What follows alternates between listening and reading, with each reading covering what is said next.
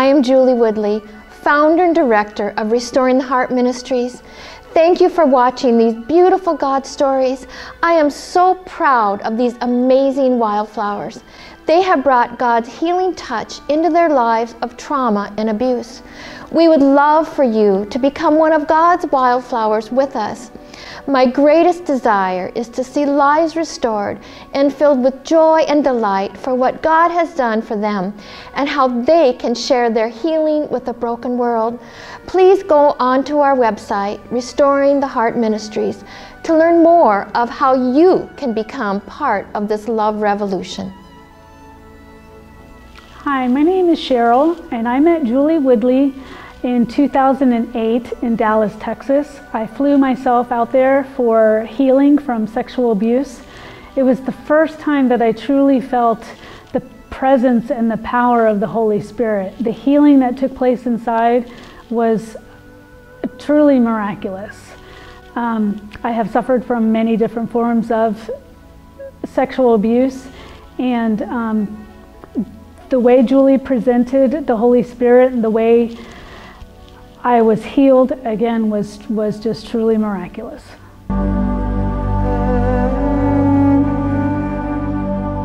Hello, I'm Kara Ann Teresi, and I'm so honored to be a part of our Wildflowers uh, Into the Wildflowers uh, curriculum program with Julie Woodley.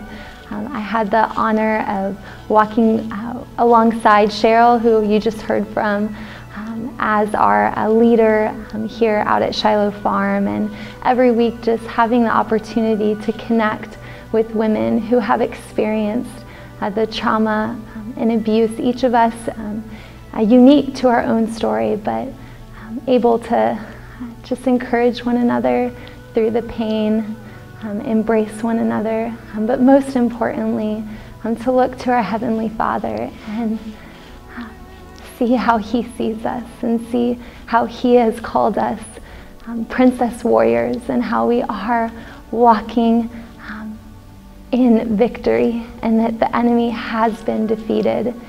And we're calling on our brothers and our sisters um, to walk with us to where we can really go with grace and beauty um, as wildflowers are. They grow in terrains that oftentimes aren't the best, um, but they um, give such joy and love. And so that's how um, our hearts are treated by the Father. And I'm just honored again to, to be walking on this journey with Him.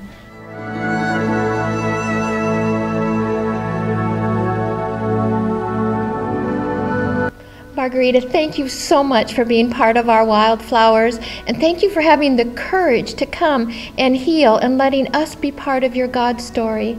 Thank you for allowing me to be here for this beautiful moment of the wildflower because the wildflower has given me in so many ways of healing, healing within inside, and having my God, you know, that He has given me the opportunity to able to forgive and give it away to other women out there who needs this journey and to open up as a butterfly because I was a closed door butterfly and the butterfly has given me color color things to see out there in the world and to give it away to others who are suffering.